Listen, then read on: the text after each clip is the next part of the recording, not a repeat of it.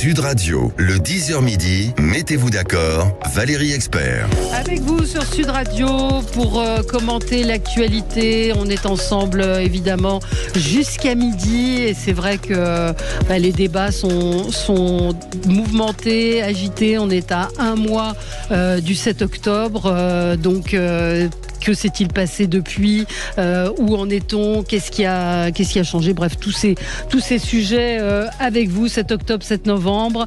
La loi immigration, faut-il réformer l'AME Édouard Philippe s'interroge lui sur le retour du service militaire. Alors est-ce que c'est à votre avis euh, politique? On sait très bien que c'est assez compliqué de, vouloir remettre en place ce service militaire.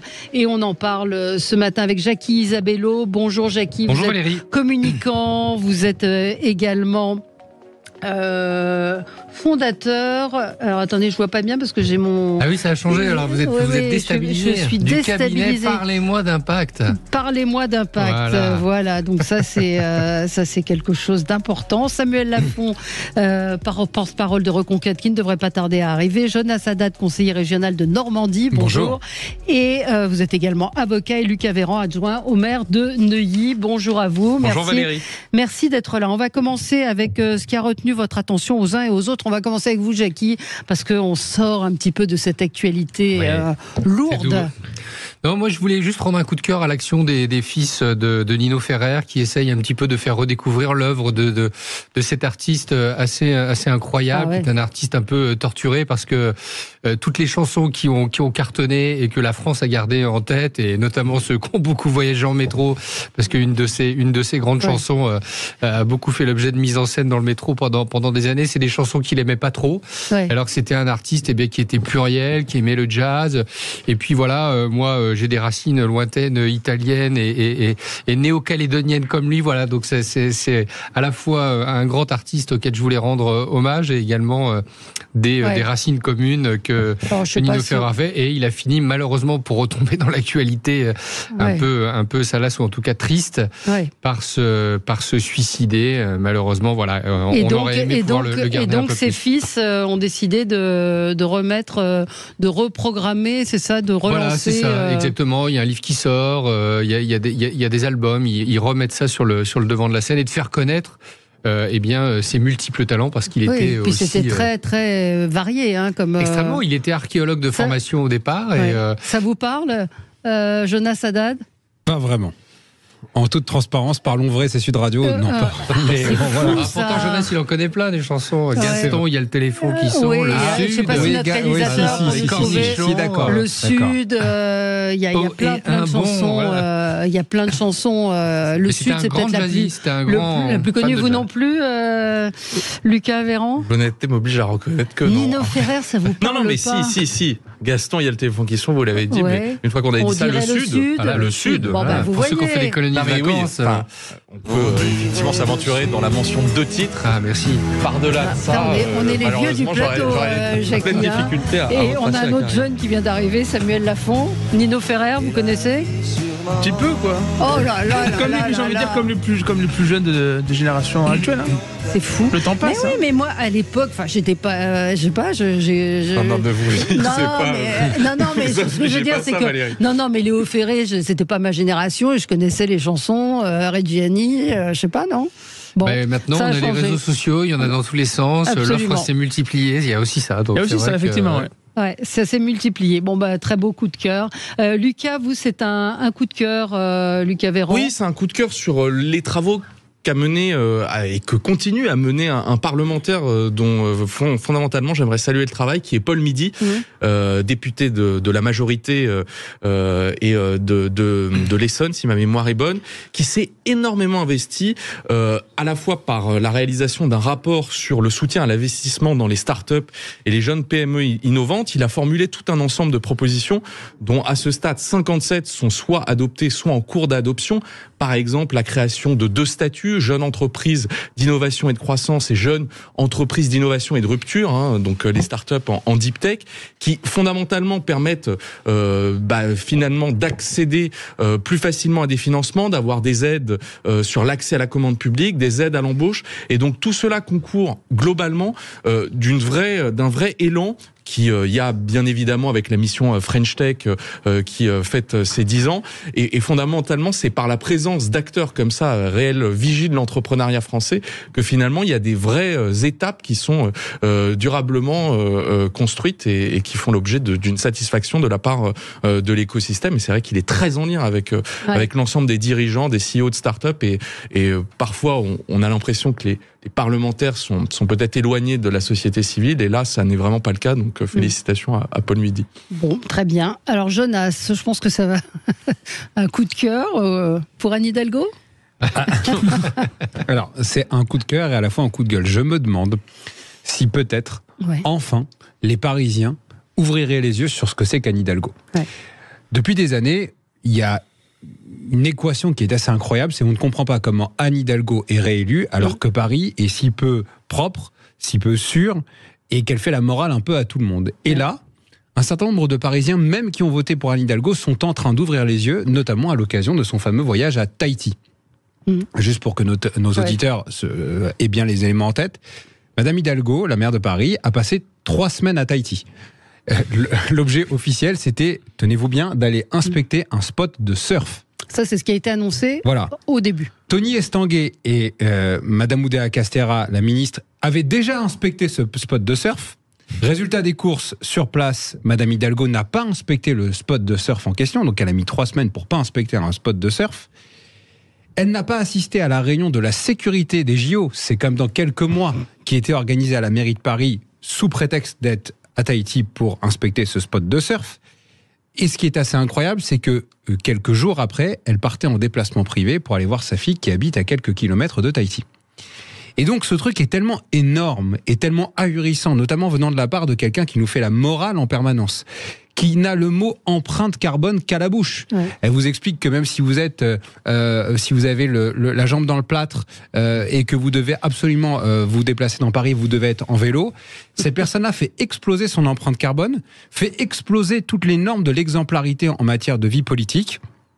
Et j'ai l'impression que pour la première fois, le vernis Hidalgo est en train de craquer. Je me souviens que ça avait été la première, vous savez, lorsque euh, Ouais. Blanquer avait été en vacances à Ibiza. Elle, est- elle s'était précipitée euh, dans les médias en disant quelle honte, aller quelques jours en vacances à Ibiza euh, à, à quelques jours de la rentrée. Là, on est à quelques mois des JO et Madame Hidalgo se paye aux frais de la princesse, c'est-à-dire aux frais euh, de la mairie de. Paris, un voyage à Tahiti. C'est juste Alors, hallucinant et donc son- c'est à la fois ouais. coup de gueule et coup de cœur. Alors, elle va payer son billet retour. Euh, vous l'avez vu, ça, non? Elle va Ouais, payer elle va son payer billet. Elle va payer son, son billet retour, mais elle est partie avec euh, Mais deux- madame, mais madame deux- est trop bonne. madame, c'est- c'est-à-dire Ce que, que, ce que Jonas ne, ne- ne précise pas, ce qui est quand même assez incroyable, c'est que ce qu'elle est allée inspecter, euh, c'est notamment une tour pour les juges de l'épreuve de surf qui mesure 14 mètres et qui va être euh, qui pas construite. construite sur le lagon, c'est-à-dire qu'on va détruire des coraux. Madame Hidalgo, qui euh, nous a fait, nous a donné des leçons à Paris en matière d'écologie, va sans doute là-bas, euh, eh bien cautionner quelque chose euh, qui va mobiliser les populations. Euh, si elle regarde ce qui s'est fait un peu euh, en Nouvelle-Calédonie, qu'entre certains ont, tenté de construire des hôtels ou je ne sais trop quoi, c'est, c'est- je rajoute une pierre, sans mauvais jeu de mots, à cet édifice que vous avez brillamment construit, Jonas. C'est, c'est assez dingue cette et on se demande où sont les enquêtes? Qui peut diligenter une enquête pour Alors, savoir Bah, le si cette PNF. attitude est... euh, le La- PNF la- qui d'habitude est très rapide. La, la mairie de Paris, oui, a été plus rapide sur d'autres affaires. La mairie de Paris a publié le montant total donc de ce voyage, 40 955 euros très exactement. Les, ça, c'était pour le déplacement. Et puis, euh, les frais d'hébergement et de restauration s'élèvent quant à eux à 18 545 euros. Alors, il faut dire que Madame Hidalgo était allée voir sa fille qui euh, vit euh, là-bas. Donc, je lisais ce matin dans le journal un, un- un conseiller qui disait oui, mais elle aurait passé deux ans sans voir sa fille si elle n'avait pas fait ce voyage. Mais alors mais qu'on dise les choses, qu'on dise les choses. Je, je dois partir euh, parce que ma fille. euh, Donc le crime euh, est signé, quoi. C'est ça que nous bah, dit cette personne. quelque part, euh, oui, mais pourquoi mentir au début, Ah effectivement? Euh, et, et effectivement, trois semaines loin de Paris. au- à- alors, elle pouvait pas. euh, Enfin, si, elle est partie après les, les attentats, me semble-t-il. Je sais pas, Samuel Lafont. Cette affaire. Sais plus exactement quand elle est partie, mais comment voulez-vous que les Français fassent confiance à une partie de la classe politique quand ils voient ça? Alors, Heureusement, tous les politiques et tous les élus se comportent pas comme ça, évidemment. Mais là, euh, comme l'a rappelé Jonas tout à l'heure, Madame Hidalgo passe sa journée à faire la morale à tout le monde. Malheureusement pour les Parisiens, il y en a bien qui votent pour elle. Elle est réélue. Euh, J'espère que lors des prochaines élections municipales, euh, on va changer de majorité parce que cette majorité à Paris, malheureusement socialiste, fait en sorte que la capitale soit crade, euh, absolument pas exemplaire. Euh, euh, on voit ce qui se passe notamment autour de, la Tour Eiffel. Et elle plombe évidemment tout ce qui est les comptes publics, pardon. Elle dépense à, à foison des impôts avec des services, notamment en communication, qui sont énormes pour euh, des Deux- résultats qui 200, sont, qui Il y sont a minables. 200 personnes à la communication Pourquoi de faire la, de la ville. Pourquoi faire Bah, dis 200 donc, ils sont personnes. pas, et le- la rentabilité Ouais. de chaque personne à la communication en ce moment doit être remise en cause. hein. Ouais, absolument. Ouais. ouais. C'est joliment dit. Et, c'est- et- et- et- Alors vous qui travaillez dans une mairie justement, enfin qui êtes adjoint plus Ouais. précisément à un maire, non, mais c'est vrai euh, que les comptes normalement sont scrutés. Ah oui, oui. euh, par ailleurs, à Neuilly, euh, sans rappeler les, les items qui sont les nôtres, sont plutôt satisfaisants. Mais c'est vrai que euh, euh, un chiffre sur Paris, il y a 50 000 fonctionnaires sur la Ouais. ville de Paris. C'est l'équivalent quasiment de la population de Neuilly. Euh, vous le disiez, effectivement, le rapport euh, euh, nombre de fonctionnaires par nombre d'habitants est, est- est substantiellement, significativement plus élevé que dans d'autres capitales comme Londres ou, ou, Lon- ou, ou Rome. Une fois qu'on a dit ça, je, je vais partager, on va dire, le, le trait d'enthousiasme de Jonas, parce que euh, l'impression que cela me fait, c'est qu'en fait, et pas seulement les agissements d'Anne Hidalgo, aussi les tractations en interne qui euh, se font jour au sein de sa majorité municipale, euh, il y a une préparation de la suite et donc elle, Mhm. je pense qu'effectivement, elle est dans une attitude où objectivement, quand on sait le risque euh, et, et- et- toute l'attention qui peut être portée sur ce genre de déplacement, courir le risque de quand même l'entreprendre, c'est finalement admettre déjà qu'en partie euh, on, on- est prêt à, à s'exposer à, à une critique massive. Donc euh, euh, fondamentalement, ce qui est en train de, de se jouer, ce qui va se jouer dans les prochaines années, avec euh, et on le rappelle ici et là, mais euh, qu'est-ce qui fait aussi l'élection d'Anne Hidalgo? C'est un mode de scrutin autour d'une loi qui est très spécifique pour Lyon, Marseille, Paris, qui n'est pas une élection au suffrage, universel. direct, oui. Euh, Direct. direct. ou alors euh, nous aussi hein, dans, dans nos communes ce sont les conseillers municipaux qui sont élus qui ensuite portent le maire aux, aux- aux responsabilités mais là c'est très particulier parce que c'est des élections avec arrondissement donc Bien sûr. finalement il y a le, le nombre d'interfaces qui mènent à l'élection du maire fait qu'il peut y avoir des situations un peu imbroglionesques Mais- où euh, il n'y a pas un assentiment populaire massif pour Hidalgo mais, elle est quand même élue Cette ville est dans un état, enfin franchement, la- Catastrophique. catastrophique, avec des, des travaux euh, partout sans ouvriers. J'en ai parlé avec plusieurs euh, chauffeurs de taxi qui me disent, il y en a un pas très loin d'ici dans le 16e. Elle dit, mais je me suis renseigné, il y a rien. Il y a rien, le pont, il y a deux poteaux pour faire comme si ça tenait un pont. En fait, c'est faux. Près de chez le moi. pont tient tout seul. On va, on va- vous allez y revenir, c'est un sujet qui vous parler. passionne. À tout de suite. Sud Radio. Sud Radio, parlons vrai. Parlons vrai. Sud Radio. Parlons vrai. Sud Radio, le 10h midi, mettez-vous d'accord, Valérie Expert. Et on est ensemble avec vous sur Sud Radio pour débattre. Je vous rappelle que les débats commencent à 11h moins le quart euh, désormais. Et pour euh, commenter cette, euh, cette actualité aujourd'hui avec nous, Jackie Isabello, communicant, fondateur du cabinet Parlez-moi d'impact. Voilà. Samuel Lafont, porte-parole de Reconquête. Jonas Haddad, conseiller régional de Normandie. Vous êtes également avocat. Et Lucas Véran, adjoint au maire de Neuilly. 7 octobre, 7 novembre, un mois euh, après les attaques du Hamas. Vous avez entendu euh, dans, le, dans, le, dans le journal que Benjamin Netanyahou excluait tout cessez-le-feu sans libération des otages. On va parler de la loi immigration avec la réforme de l'AME. Et puis, euh, faut-il refaire re- revenir le service militaire ou est-ce que c'est un, un coup politique un peu démago d'Édouard Philippe parce qu'on sait que bah, c'est très compliqué, quasiment infaisable, mais ça revient. C'est un marronnier qui revient euh, régulièrement. On n'a pas fini notre tour de table. Bon, allez, on va passer sur Anne Hidalgo euh, à Tahiti. On pourrait faire une, une heure entière d'émission euh, sur elle, mais on a beaucoup d'auditeurs qui ne sont pas à Paris et que ça n'intéresse peut-être pas. On va, alors, on était avec, alors, on a fait Jackie, on a fait Lucas, on a fait Jonas et il reste Samuel. Euh, Samuel, est-ce que vous me permettez avant un, un coup de gueule euh, sur, euh, puisque vous voulez parler de la loi, euh, de la loi immigration, et moi je voulais revenir euh, sur euh, l'arrestation hier, l'interpellation euh, de ceux qui ont à homejacké, enfin qui ont fait un cambriolage chez Bruno Guillon alors qu'il était euh, chez lui. Alors c'est, on apprend qu'il y a un mineur qui a participé à ce homejacking qui a déjà été interpellé et qu'il s'apprêtait à jouer, à cambrioler un joueur du PSG et mis en examen. Il était libre depuis. Et pareil pour les cambrioleurs de Sylvie Tellier. Alors ce sont deux personnalités connues, euh, Bruno Guillon et Sylvie Tellier, mais force de constater que l'histoire se répète et qu'à chaque fois ou très souvent, euh, quand il y a des actes de délinquance, eh bien on se rend compte que ces gens avaient déjà été condamnés euh, ou étaient mis en examen en attente d'un procès. Et c'est absolument insupportable. Enfin, ce qu'a vécu Bruno Guillon ou ce que vivent les gens, et j'ai des amis pas connus à qui c'est arrivé, c'était épouvantable d'être ligoté. Euh, Enfin, il n'y a même pas de, de mots pour le décrire, mais, mais de voir que c'est que voilà, ces gens sont en liberté. C'est arrivé à deux amis, euh, notamment un pendant qu'il était très, lorsqu'il était très jeune, et euh, ça l'a choqué pendant des années. Je m'en souviens encore. Elle nous en parlait. Bien sûr. il avait euh, 12 ans, je crois, 12-13 ans. Euh, c'est un phénomène malheureusement qui se multiplie, et euh, on sait pourquoi. C'est parce qu'on a un laxisme pénal. Les Français sont tous d'accord là-dessus qui fait que euh, on a dans notre société malheureusement des gens euh, en France qui se sentent impunis et donc ils viennent se servir concrètement ils viennent se servir avant on avait effectivement des cambriolages lorsque les gens étaient absents chez eux et maintenant ils s'en fichent complètement et ces, ima- ces images pardon vont se multiplier tant que la justice ne sera pas plus sévère Ben, sévère, euh, les magistrats disent qu'elle l'est, sauf qu'il n'y a pas de place de prison. Il y a plusieurs choses. Donc, euh, alors, le, fait est, juste, Ouais. un point ouais, Euh, le, le fait est que Samuel. les, les personnes qui commettent ces actes, on sait très bien ça, il y a des études là-dessus, euh, elles font un calcul. Et euh, pour savoir si elles sont, se sentent concernées par la peine, il y a la- hauteur de la peine, mais il y a également la rapidité à laquelle la justice rend sa décision. C'est extrêmement important dans le calcul que font ces gens-là. Et on sait malheureusement que la justice en France, pour de nombreuses raisons, notamment des raisons de moyens, est trop lente. C'est- c'est- alors, c'est- c'est Jonas c'est- c'est- Haddad. c'est pas que ça. La première chose, c'est que vous l'avez dit, en général, quand on interpelle ces personnes-là, on se rend compte que ce sont des personnes qui sont multirécidivistes. Ouais. Et je rappelle à nos auditeurs que depuis l'avènement de François Hollande, Mm.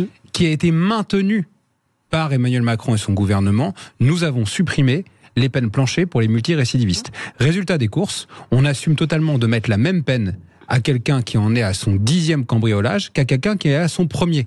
Or, on sait très bien que c'est 90% des actes les plus graves qui sont commis par 10% des délinquants les plus dangereux. Donc, tant qu'on ne remet pas la sanction des peines planchées pour les multirécidivistes, ça ne changera rien. Même le magistrat le plus ferme ne peut pas inventer une loi. Il n'y a pas de base légale pour enfermer plus rapidement quelqu'un qui est un multirécidiviste. Point 1. Point 2. Il s'agit désormais de mineurs. Or, depuis des années, il est réclamé, sans réponse de la part du gouvernement, de réformer l'ordonnance des mineurs. Mm. Les mineurs d'aujourd'hui n'ont rien à voir avec les mineurs de 1945. Et donc, évidemment, lorsque vous avez aujourd'hui des gens qui, entre euh, 15 et 18 ans, commettent des actes et qui ont le droit à ce qu'on appelle une réduction de la peine en raison de leur minorité, c'est absolument scandaleux. On a vu aussi euh, des sujets avec des bandes de mineurs qui s'affrontent parfois à coups de marteau et de Bien choses sûr. comme ça.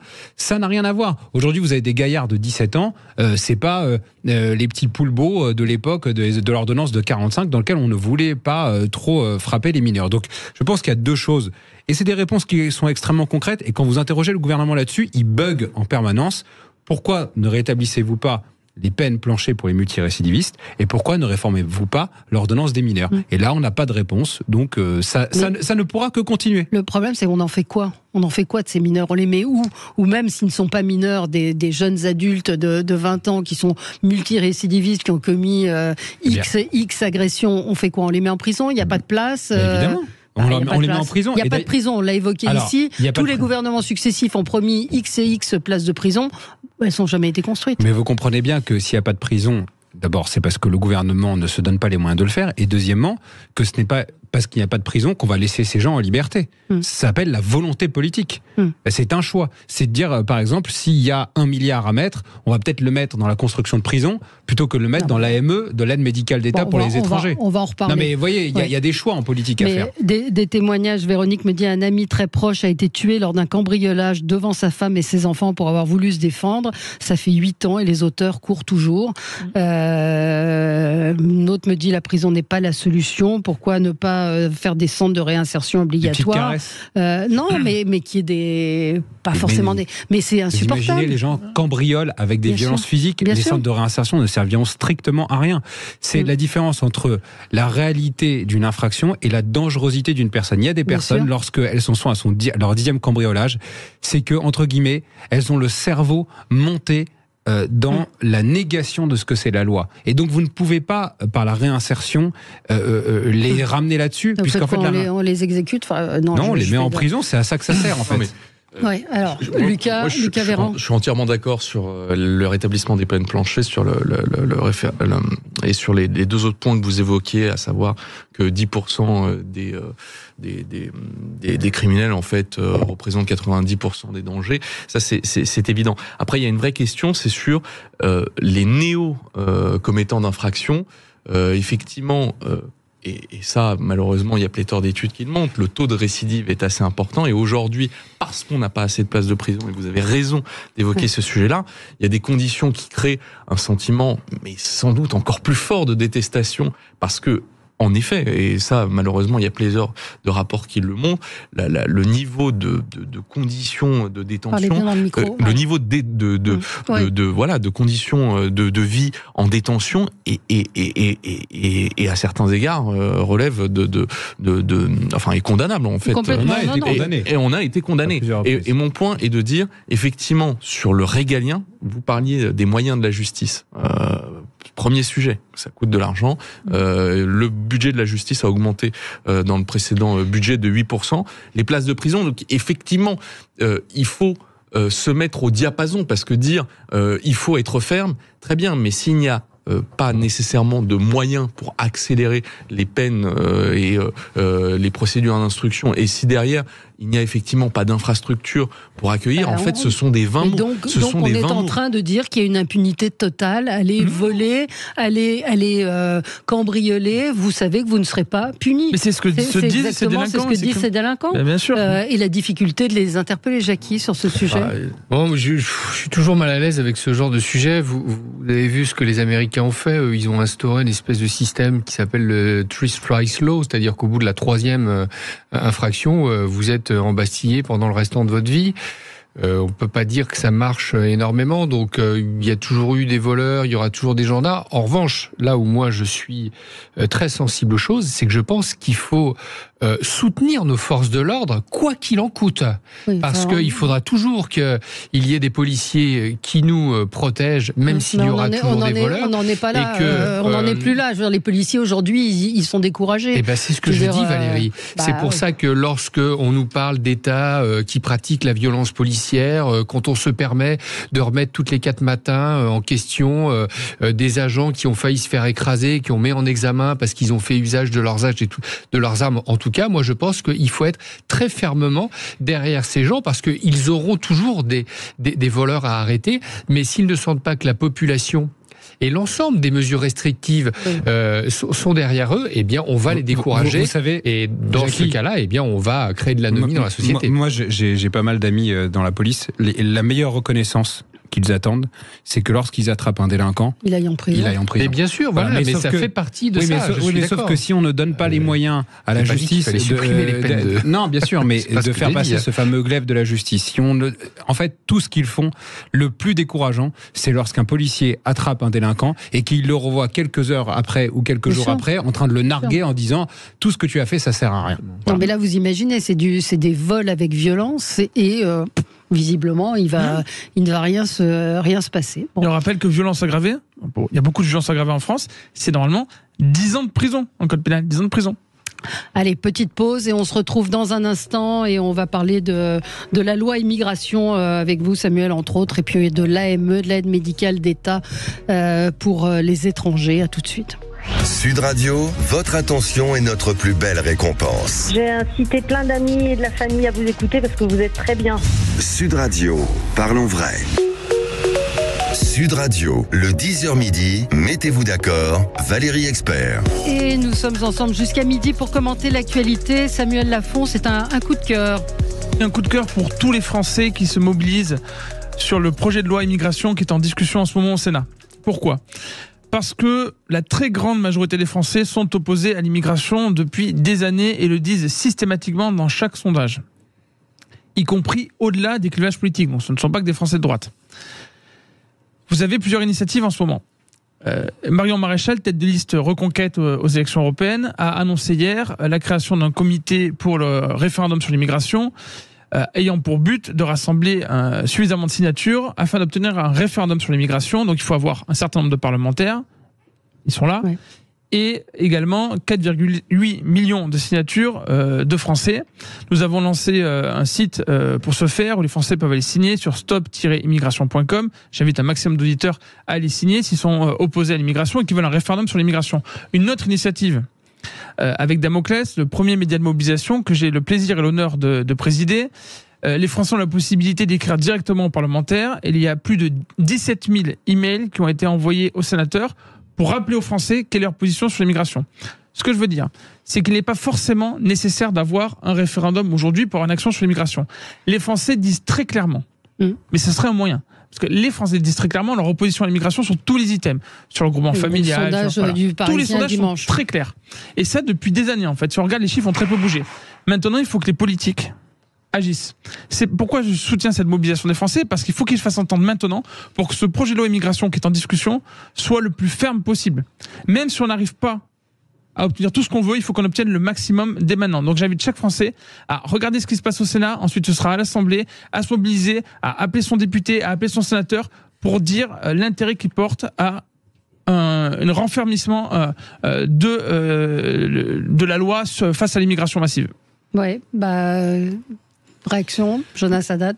Moi, je trouve que le débat actuel, ce qui porte sur la loi immigration, a été confisqué et la focale a été placée sur un article 3. Vous savez, souvent en Ouais. France, on, on va se focaliser comme ça sur un article, alors qu'en réalité, c'est tout un arsenal qui doit être déployé pour lutter contre l'explosion de l'immigration incontrôlée. Les socialistes danois ont bien compris que c'était pas uniquement une, un petit bout qui devait être réglé, mais l'in- l'intégralité. Et d'ailleurs, en fait, si vous voulez, il y a plein de sujets dans, dans cette question de l'immigration. Il y a le sujet de l'AME, on va en parler. Ouais. Il y a le sujet aussi de la capacité des préfets à continuer de contrôler qui est régularisé. Et si cet article 3 passait, ça voudrait dire qu'il y aurait une régularisation automatique des travailleurs. Et d'ailleurs, on regardait dans, dans, Mm. dans les, les récents attentats, l'attentat de Rambouillet a été commis par quelqu'un qui était étranger, mais qui était chauffeur-livreur. Donc avec l'article 3 tel qu'il est structuré aujourd'hui, quelqu'un peut parfaitement derrière euh, être euh, un islamiste radicalisé, être régularisé, être tranquillement et bénéficier de tous nos avantages sociaux sur notre sol. Mm. Et ça pose donc la question du fait de dire arrêtons de ne regarder que cet article 3 et disons que l'immigration telle qu'elle est structurée aujourd'hui ne peut pas continuer à, à- à garder la cohésion nationale. Jackie? Oui, mais je crois qu'il faut une volonté politique qui soit euh, qui soit assez claire. Euh, euh, moi, je serais naturellement en tant que chef d'entreprise assez ouvert avec cette idée qu'il y a tout un tas de secteurs qui ne peuvent pas fonctionner sans immigration. Après, si on part du principe que euh, dès qu'il y a une notion d'immigration, il y a forcément un risque et qu'on fait une assimilation entre immigration et puis euh, risque euh, euh, d'attentat, risque terroriste, eh bien, euh, il faut que le pouvoir politique euh, porte au plus loin cette, cette affirmation et, le- et la, et la mette en œuvre. Moi, je ne serais pas forcément le plus à l'aise avec ça, mais ce qui est certain, c'est qu'on ne s'en sort pas avec ce sujet. Et à force d'avoir des acteurs politiques qui ne sont pas droits dans leurs bottes sur ce sujet-là, eh bien, les Françaises et les Français se dirigent de plus en plus vers des formes d'expression politique qui vont être de, de voter pour les plus extrêmes, ce qui n'est pas mon, mon positionnement. Donc, s'il faut aller vers ça Mais- pour faire voir aux gens, on parlait tout à l'heure tous ensemble du non-cumul des mandats. Eh bien, il a fallu le mettre en place pour s'apercevoir que c'était une vaste connerie. Alors, comparaison, évidemment, n'est pas raison. Euh, mais euh, finissons-en, mais en tout cas, montrons bien aux gens qu'on peut faire quelque chose et que le pouvoir politique assume pleinement, même si moi, je suis pas forcément euh, extrêmement à- l'aise euh, avec ces positions. Et puis après, là où tout le monde est quand même assez limpide, que ce soit dans les sondages, que ce soit dans les discussions privées ou n'importe où où on va, il faut trouver une solution. On ne peut pas euh, continuer de garder des gens qui sont expulsables, qu'on garde sur le territoire. Et moi, j'ai pas l'impression que cette loi apporte véritablement une solution euh, aux OQTF et aux mises à l'exécution de, des- des OQTF. On va continuer d'en faire et on va continuer de, de les garder. C'est absolument intolérable. Et donc, quand je disais tout à l'heure, il faut aller au bout de la démarche. Les Anglais, à un moment, avaient envisagé quelque chose qui a fait hurler l'opinion publique. Je pense qu'il faut dire aux gens, si vous voulez qu'une politique soit véritablement efficace, eh bien, osez penser Hmm. des mises en application qui soient parfois, eh bien, euh, un petit peu brutales, mais il faut se débarrasser de, Mais- de, de- mais- de- de ces Mais gens. l'opinion publique ne hurlera pas, puisque comme on l'a dit, aujourd'hui 87%. Parce que, euh, Ah, je faisais référence à l'idée des Anglais d'envoyer Ouais, au ouais. Rwanda. Attendez, euh, Ouais. 87, Jonas- 87% des Français disent qu'on doit, on doit changer les règles en matière d'immigration. C'est-à-dire qu'il n'y a que 13% des gens qui pensent encore qu'il ne faut rien bouger. Mais, Euh, et- mais ça veut dire quoi quand vous dites les Français ne hurleront pas? Bah, C'est-à-dire que les Français Ils ne pas hurleront pas manifester. si on expulse des gens qui doivent être Ah, bien expulsés. sûr, j'ai compris qu'ils ne hurleraient pas. Il y a- pas que- ça. réclamer, et deuxièmement concernant, alors, disait, juste euh, ouais. concernant, concernant l'argument économique, deux choses. La première, hier, interview du patron du MEDEF qui dit clairement nous n'avons jamais réclamé au gouvernement de mettre cet article 3. Nous n'avons pas besoin de davantage d'immigration dans les secteurs en tension en France. Deuxièmement, lorsqu'on euh, dit, alors dans ce cas-là, on va régulariser dans tous les secteurs en tension. Aujourd'hui, c'est des études très claires qui le montrent, 8 secteurs sur 10 en France sont en tension. Donc, ça veut dire que si on régularise dans les métiers en tension, on régularise massivement.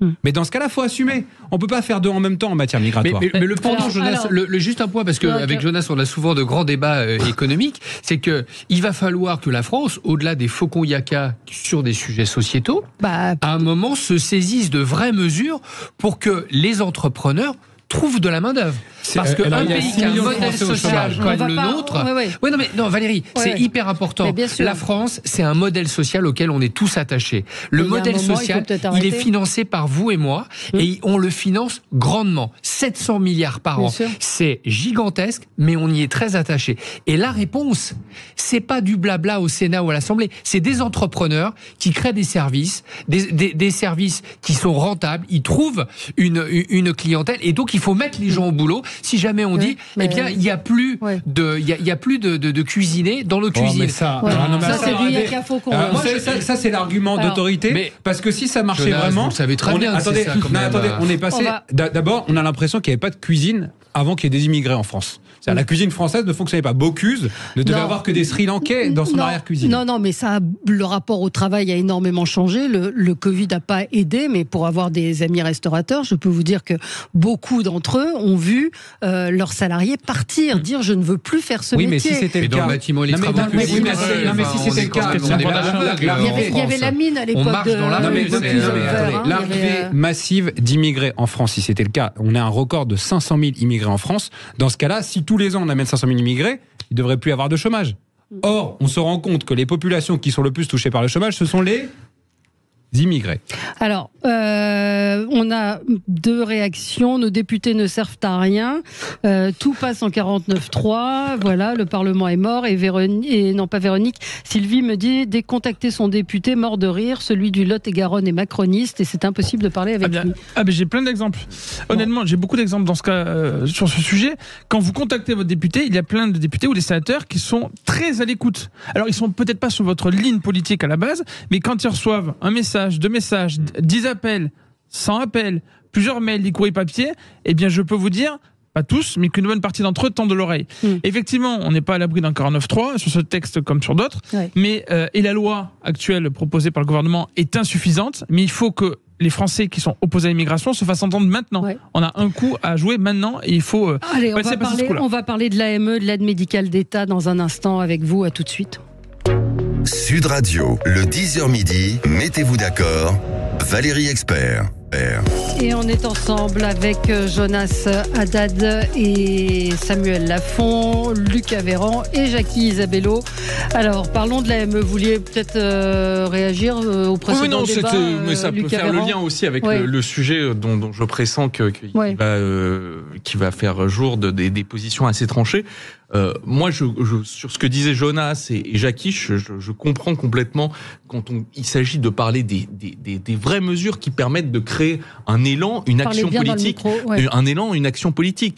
Dire euh, effectivement je comprends le sondage, 87% des Français euh, souhaitent que euh, l'État change euh, les règles qui sont applicables sur le sujet de l'immigration à contrôler. Ça, je pense que c'est unanime et qu'il faut être très volontariste sur le C'est sujet. l'immigration en Mais- général. Mais, mais, bah oui, mais c'est là où je ne suis pas d'accord. C'est que, à mon avis, l'objet de cette de, de, de cette loi, c'est vraiment d'apporter une réponse dans, dans ce qui constitue l'angle mort, c'est-à-dire comment des personnes qui sont en situation irrégulière sur le territoire, qui parfois sont euh, expulsables, comment on passe à l'action? Comment on passe Bien à l'action Parce que là Ouais. encore, c'est bien d'avoir des, des grandes paroles, il faut que tout le monde parte, mais comment pas les, les laissés-passer consulaires, comment ils s'organisent? Et Vous savez, quand Je on pense- nous a obligés à récupérer des djihadistes euh, que la Syrie nous a renvoyés, on a su le faire. Hein. Oui, mais, non, mais ça, euh, c'est Bah, différent. et pourtant, il n'y a Non, pas eu de Jonas. laissez-passer consulaire. euh, on a dit, bah voilà, vous reprenez vos djihadistes et on a repris nos djihadistes. Bah, très bien. C'est juste une question de volonté Mais politique. vous, Jonas, vous êtes capable de me dire si on va voir l'ensemble de ces pays, on sera capable de. de... Alors, je suis d'accord, on Bah, peut faire jouer un le rapport exemple. de. Non, je vous donne un exemple tout bête.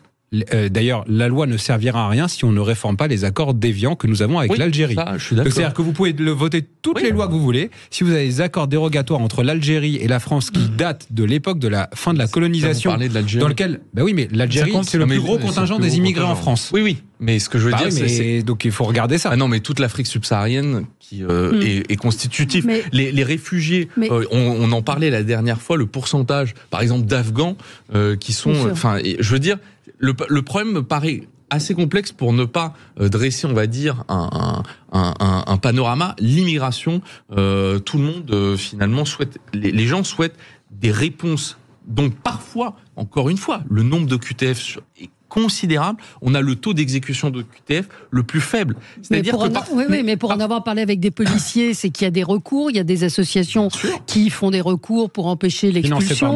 Vous avez euh, des, des commandants de bord qui refusent de prendre euh, à leur bord, quand on arrive jusqu'à l'expulsion, de reprendre ces, ces OQTF. Euh, Il y a les pays qui veulent pas les accueillir. C'est que c'est quand même un, un, un C'est sur- mais c'est parcours sur semé ces leviers-là qu'à mon avis, l'attention politique devrait se concentrer et sur la désignation, pardon, des, des, des, des, des, des vrais vrais responsables de ces, de ces freins dans la reconduite à- plutôt que euh, de jeter l'anathème sur l'immigration en général, dont à mon avis, ça n'est pas le, le, le bon modus operandi pour vraiment agir et, et restaurer la- une situation satisfaisante. Ouais. Prenons un peu de recul.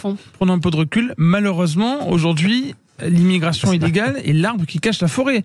Quand on parle d'immigration encore, euh, mon voisin vient de, vient de le faire, il a parlé que de l'immigration illégale. Évidemment, la France est aujourd'hui envahie euh, d'immigrés illégaux qui rentrent sur le territoire sans aucun problème et qui ensuite ont le soutien d'immigration, qui sont souvent euh, d'associations pardon, qui sont souvent subventionnées avec vos impôts pour les faire rester sur le territoire, pour avoir une situation dite régularisée. Je déteste ce mot parce que une situation régularisée pour ces gens-là, c'est de rentrer chez eux. C'est surtout pas d'être en France et d'avoir quelque statut que ce soit. Mais ça, c'est l'arbre qui cache la forêt. Le souci, c'est l'immigration en général, parce qu'il y a une immigration légale aussi, qui est avant tout non pas une immigration de travail, mais une immigration de regroupement familial ou des gens qui viennent pour les aides. On a des études qui ont été faites sur le sujet, on sait très bien pourquoi les gens viennent en France, ils ne viennent pas pour travailler. Et on continue à, dans ce délire. Certains, si. Mais Certains très mal- oui, mais de, manière, mais du très- mais c'est pas du tout majoritaire. Euh, la réalité, c'est qu'on a eu un délire immigrationniste pendant des décennies, que les Français très rapidement s'y sont opposés, que les politiques ont refusé d'agir contre l'immigration. Aujourd'hui, il y a des gens qui sont une fuite en avant, qui continuent dans leur délire immigrationniste. On peut mettre un stop. Il y a des pays dans le monde qui s'en sortent sans immigration massive. Vous n'allez pas me dire que le Japon et la Corée ont besoin d'une immigration délirante. Les Français disent stop. Que les politiques écoutent les Français et qu'ils arrêtent d'aller sur quelques sujets. On doit évidemment faire en sorte que les gens arrêtent de rentrer sur notre territoire, qu'ils n'ont pas le droit d'y être, ils n'ont rien à faire chez nous, parce que sinon on va avoir des millions et des millions de personnes qui vont arriver sur le sol français. Et euh, l'Afrique euh, contient suffisamment de personnes pour qu'en fait la France soit largement dépassée et que l'Europe soit largement dépassée. Donc on doit mettre un stop tout de suite. Heureusement. Heureusement, il y a de nombreux pays européens maintenant qui mettent un stop. On voit qu'il y a la Finlande qui on parlait du Danemark tout à l'heure.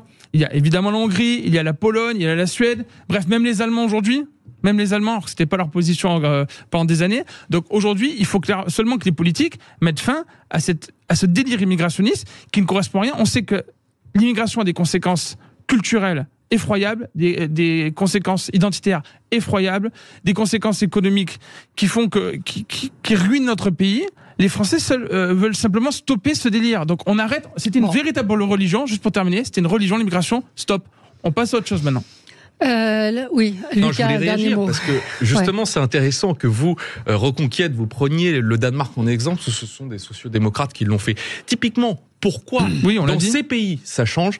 C'est qu'à mon avis, euh, l'angle qui a été retenu, c'est de justement créer du consensus dans la population sur l'appropriation de ces sujets-là. Ah, le consensus, il est là. eh, laissez-moi- Le consensus, je vous ai, je vous ai Alors, laissez terminer, oui, oui. Je vous ai- alors, typiquement, quand on parlait du regroupement familial, c'est une mesure. Quand on parlait de la renégociation des accords déviants, c'est une mesure qui, à mon avis, sur les deux sujets, lorsqu'on arrive à dresser de la pédagogie et à créer un élan, fondamentalement, elles sont susceptibles de faire consensus de la population. Mais vu que vous, vous en faites finalement votre, votre petit marché, que Non, euh, vous je êtes, vous laisserai pas dire ça. Je, je, je, Ouais, je vous termine. mentez. Oui, vous vous en faites votre, votre petit marché Non. et effectivement votre rente électorale, vous êtes Non.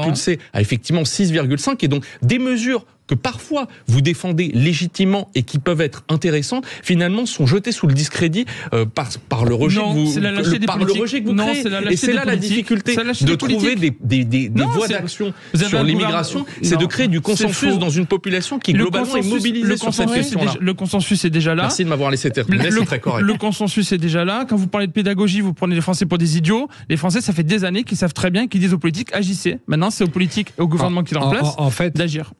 Jonas en fait, moi, ce que je trouve dingue, c'est que, vous savez, il y, a, il y a plein de sujets dans lesquels les politiques nous disent mais euh, il faut qu'on sorte du déni, il y a une urgence, notamment en Mhm. matière climatique. Oh Et ils ont raison il y a une urgence climatique euh, bientôt euh, et, et on va avoir une, une augmentation. Là, l'urgence, et c'est pour ça que je pense que le débat est passionné et passionnant, l'urgence migratoire, elle est là. Quand on passe de 200 000 à 500 000 personnes tous les ans, il y a une urgence migratoire. Le président Sarkozy disait assez justement, on n'en est qu'au début. Parce qu'en fait, démographiquement, il va avoir des conséquences qui sont importantes. Donc, lorsque on est dans cet état-là, je ne comprends pas, par exemple, qu'on n'ait pas, pas- euh, on a, on a, euh, Emmanuel Macron a parlé d'état d'urgence climatique ou d'état d'urgence sanitaire quand il y a eu le Covid. Il faudrait décla- déclarer l'état d'urgence migratoire. Vous regardez les récents, à la fois attentats, mais aussi agressions au quotidien. Mm. Euh, euh, Gérald Darmanin dit que 50% aujourd'hui des gens qui sont en prison sont des étrangers. Donc il faut déclarer l'état d'urgence migratoire. C'est- c'est- ça Il faut, il faut que ce euh, soit ah bah, bah, les conséquences, exactement que comme on, on met en place un état d'urgence sanitaire. Vous savez, par exemple, quand. Alors, vous l'A- faites quoi? Bah, je vous donne un exemple Ouais. très simple. Quand l'Angleterre, à un moment en plein Covid, on a dit il y a un cluster en Angleterre sur le Covid. Mm. On a fermé les frontières avec l'Angleterre. Est-ce que ça pose un problème? À Personne. Quand vous regardez qu'à Lampedusa, Ouais. on a Ouais. des Italiens qui sont en train d'arriver, les Italiens nous renvoient leurs Pas des migrants. Italiens. Enfin, pardon, Euh, des, oui. des- des- des Italiens qui nous Ouais. renvoient leurs migrants. Est-ce qu'on a dit à un moment à Madame Mélanie, euh, arrêtez de nous envoyer les migrants Quand euh, il y a eu le bateau qui a atterri à Marseille, enfin qui a, qui a à Marseille, et qu'on nous a dit, vous verrez, on va les expulser? Tous les personnes, toutes les personnes qui étaient sur ce bateau sont aujourd'hui sur le territoire français. Donc nous n'avons pas déclenché l'état d'urgence migratoire. Donc on peut faire encore une loi. C'est sympathique. On va se faire plaisir. On va parler de l'article 3, de l'article 4, de l'article 69, de l'article 72. Mais- Mais on n'a pas déclenché l'état d'urgence migratoire. Mais juste, euh, un auditeur me parle de, de la situation des, des migrants. Effectivement, on voit un petit peu partout en France ces tentes, ces gens qui sont, euh, on pense à Calais et autres. De ils la sont Chapelle, pas en plein Paris. de la Chapelle. On peut pas dire que ce soit des conditions euh, pour eux euh, Mais c'est idéales. indigne. C'est ta- c'est totalement indigne. Donc, mais l'image du migrant qui vient, qui prend les aides et qui euh, ou qui qui, enfin, qui, qui va Mais s'installer. Valérie, c'est bien normal. Oui. C'est-à-dire que quand, quand, quand vous, quand vous passez de 200 000 personnes à 500 000 personnes, il y a un tel flot que, évidemment, les structures d'accueil sont dépassées. Et les structures d'accueil sont tellement dépassées qu'elles sont désormais dépassées également pour les Français. On parlait tout à l'heure Mais- de l'AME et de la capacité à avoir des services publics, notamment en matière de santé. Tous les spécialistes vous disent que c'est en train de craquer de partout. Il y a des gens qui meurent sur des lits aux Ouais. urgences. Oui, mais Donc la question, c'est où on met la priorité? Est-ce qu'on veut accueillir davantage de personnes qui, par nature, vont poser une difficulté? Puisque quand vous mettez. Moi, si demain, je mets le, le pied sur le sol, je sais pas, afghan. Bah, au départ, je vais pas forcément tout de suite trouver de travail, je vais pas contribuer à la richesse nationale et je vais alourdir le besoin de services publics afghans. Eh bien, quand il y a un Afghan qui vient et qui met le pied sur le sol français, il n'est pas immédiatement productif et la plupart de ces gens sont d'ailleurs en situation de chômage. Donc, si on comprend pas ça et qu'on n'ouvre pas les yeux là-dessus, effectivement, comme disait Jackie tout à l'heure, c'est même pas. Vous parlez tout à l'heure du boulevard pour, euh, enfin, en tout cas, de la rente électorale de chez Zemmour, mais c'est le boulevard absolu pour Marine Le Pen. Mais absolue. Tant que les gens ne le comprennent pas, ce sera le boulevard. Euh, on va écouter ce que disait ce matin euh, Gérald Darmanin, qui était l'invité du Grand Matin Sud Radio et de l'interview de Jean-Jacques Bourdin. Écoutez. Ça dépend ce que vous appelez euh, la modification de l'AME. Si c'est pour dire que les étrangers doivent pas être soignés en France, la réponse est non. Je suis pour que les étrangers, même irréguliers, soient soignés en France. Si vous voulez me faire dire qu'il y a des questions qui se posent autour de l'AME, la réponse est oui, il y a des questions qui se posent autour Donc de l'AME. transformé en aide médicale d'urgence. Travaillons-y. Ce qui est sûr, c'est que le président Vous la êtes première- favorable à, à- à- à En ce tout qu'on y travaille, qu'on modifie, à ce qu'on modifie le texte Moi, là. je n'ai pas de questions tabou. Oui. Je suis pragmatique. S'il y a des sujets, il faut qu'on les traite. Sinon, le Front National va encore prendre des voix. Aujourd'hui, moi, je constate qu'il y a euh, 70% de gens qui sont à l'AME, qui sont là depuis plus de trois ans sur le territoire national. C'est un problème. C'est pas l'accès aux soins qui pose problème. C'est pourquoi on n'arrive pas à se vous séparer êtes de ces favorable personnes. modification du texte. Je suis favorable à ce que nous regardions les choses sans euh, Oui. endoctrinement des uns et des autres. Voilà. Donc, euh, c'est Ah, c'est- un slalom le- euh, glissant. euh, c'est un slalom très glissant. euh, J'aurais disais quand on quand on n'a pas d'idée, on change les mots. Euh, C'est ça, ils vont nous changer. il a supprimé l'ENA, il a fait l'ISP. Les gars, c'est toujours des machines de guerre qui font l'ISP au lieu de faire l'ENA. C'est exactement les mêmes. Ils apprennent la même chose, ils font les mêmes métiers. Mm. Donc on va faire quoi Une AMU, puis après on fera une AMT. qu'est- qu'est- Qu'est-ce que ça va? On a Ça un reviendra seul- au même. Ce qui est quand même fou, c'est que le pays du général de Gaulle Ah, qui a longtemps. abandonné son statut de grand commis de l'État pour traverser euh, la Manche, pour être euh, euh, humilié un peu par les Anglais, beaucoup par les Américains, et qui est une figure tutélaire. Là, on est en train tous de dire, on a un seul problème, il y a des gens dont on veut se séparer, et nous, sixième puissance économique mondiale, euh, un porte-avions, une, une dissuasion nucléaire, que- eh ben on n'arrive pas à faire ça. Et qu'est-ce que ça fait? Ça provoque des mutations politiques considérables dans Mais- notre tissu social qui nous. C'est quand même le seul point. Il vient de redire ça, Gérald Darmanin. Il vient de, de- dire ce point-là et il, fait, il fait, il semblerait découvrir qu'on peut pas sacrifier les accords d'Évian parce qu'au niveau de- géopolitique et ouais. international, on ne Non, peut pas là, se là, on parle passer de- l'intervention de de, l'AME. de- de- de Attends, l'Algérie. Non mais je- sur Valérie, l'AME. tout est lié. Oui, mais sur la Tout est ME, lié. sur il- Les accords d'Évian, on les aurait dénoncés depuis un sacré bout de temps. Oui, mais les si jamais oui, nous mais la ME, n'avions ça pas- concerne pas que les Algériens. euh, on parle, on parle pas que des Algériens. Je, je prends l'exemple Oui, algérien parce que Jonas tout à l'heure disait que, et d'ailleurs il a tout à fait raison, que c'est le contingent euh, d'immigrés qui est là, le c'est pas, le- c'est pas le sujet aujourd'hui. juste- puis que- euh, les auditeurs comprennent bien. Vous, euh, C'est l'aide médicale d'État. L'aide médicale d'État. Vous, lorsque vous allez voir un médecin ou que vous prenez des médicaments, vous êtes remboursé à 75%. Un étranger qui soit régulier ou irrégulier sur notre sol est remboursé à 100%. C'est-à-dire que c'est gratuit. Est-ce que c'est normal? Première question. Deuxième question, aujourd'hui, l'AME, ça coûte 1,2 milliard d'euros à l'État. C'était lorsqu'on avait 200 000 personnes qui venaient. D'année en année, on a augmenté le nombre d'immigrés. Donc d'année en année, on va augmenter le coût de l'AME.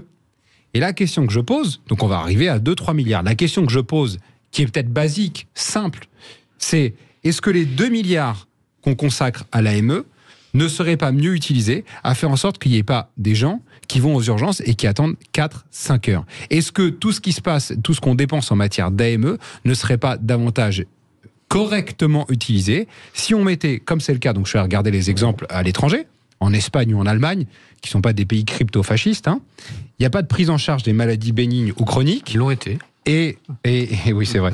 Et on, on, on, on accompagne, on accompagne à 100% que s'il y a une menace de la vie des patients à 100%. Donc moi, je suis pour ça. Je suis pour une forme. euh, vous avez, euh, Emmanuel Macron dit en européen. Et ben moi, je le dis en européen. Harmonisons ça. On dit ok, s'il y a une menace pour la vie du patient ou s'il y a une contagion, parce que Elisabeth Borne ce matin dit oui, mais pour notre santé à tous, évidemment, Bah, évidemment, si c'est des maladies contagieuses, c'est il faut ce les que prendre à tous les 100%. médecins sont favorables à cette Mais il n'est pas normal. Mais vous avez vu ce pas que dit Mathias. Vargon. On dit ça va, ça va provoquer des, des, des problématiques de santé publique. Bien Donc sûr. ce qui va Non. se passer, c'est que sociologiquement, alors, je voudrais- on ouais. va encombrer les urgences qui sont déjà débordées par le nouveau système qu'on a mis en place. Et qu'est-ce que ça va provoquer dans la, dans la population?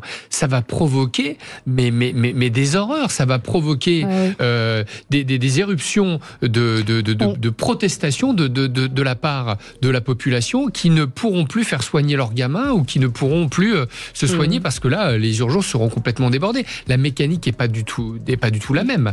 Euh, si on transfère de l'AME et qu'on on, on- on les soigne directement euh, au sein des urgences. On se retrouve dans un instant et vous aurez la parole, Samuel et Lucas, dans un instant.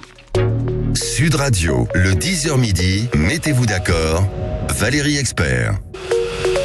Sud Radio, le 10h midi, mettez-vous d'accord, Valérie Expert. Et on parle de l'AME, l'aide médicale d'État. Faut-il la réformer? Vous voyez, ce matin, euh, Patrick Roger recevait euh, docteur euh, Marty qui disait qu'il était farouchement contre cette réforme. Et les commentaires qui sont sous cette vidéo de Sud Radio sont particulièrement violents à l'encontre de ce médecin et dénoncent cette inégalité.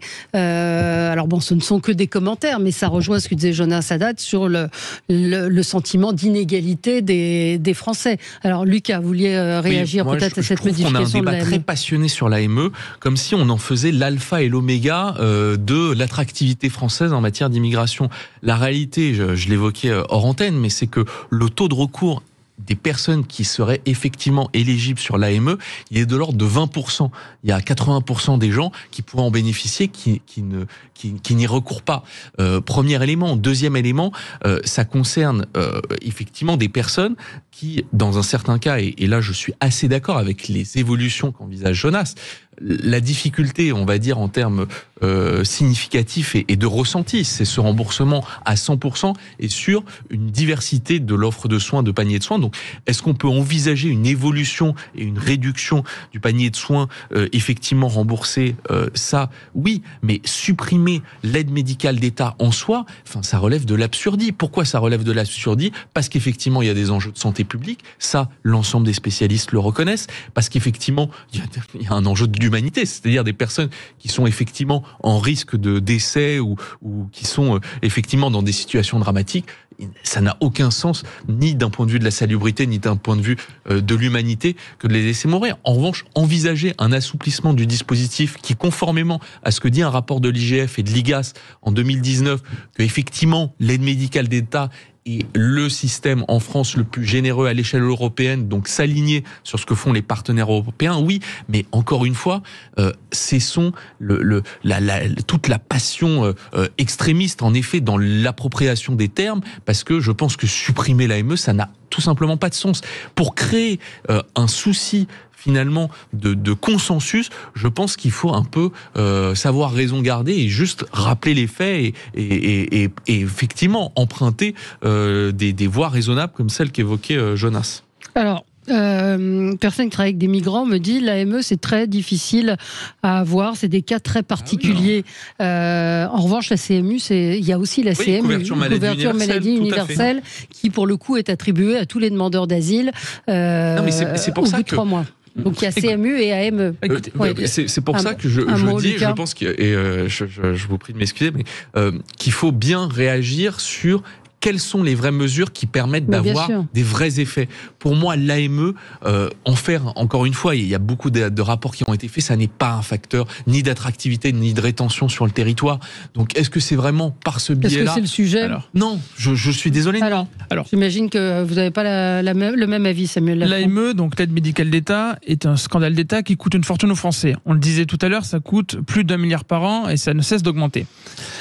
Quand on parle de l'AME, on parle des immigrés en situation irrégulière, donc c'est l'arbre qui cache la forêt de l'immigration en général, puisqu'on a un problème en France d'immigration irrégulière, mais on a aussi un problème d'abord d'immigration légale, euh, qui est entretenu notamment par le groupement familial.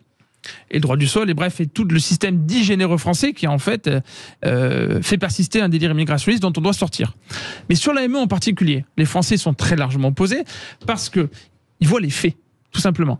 Ils se rendent compte que, comme il a été dit, eux, quand ils vont à l'hôpital, parfois déjà ils ont du mal à trouver un hôpital, un service qui puisse répondre à leurs attentes. Ils ont du mal à trouver un spécialiste quand ils vont voir le médecin. Et on a sur notre territoire national des gens qui n'ont rien à y faire. Je répète, qui n'ont rien à y faire, des étrangers qui n'ont pas à être en France, qui bénéficient de tous les soins euh, qu'ils souhaitent, puisque si on fait un peu l'historique, fin du 19e siècle, en France, on a une loi qui fait en sorte que euh, les, euh, les Français qui ne peuvent pas se soigner, qui n'ont pas les moyens, puissent être soignés.